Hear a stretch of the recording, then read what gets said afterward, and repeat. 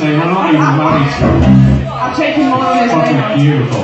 Right, we haven't done this in a long time, but gonna make done this it. best, the best time we've ever done. We've never done it.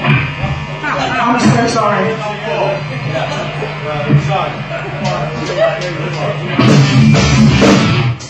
Should we get our That'll do.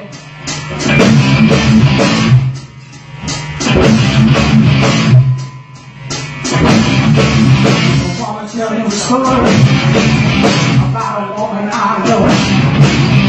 When it comes to love, I the show. I ain't exactly pretty.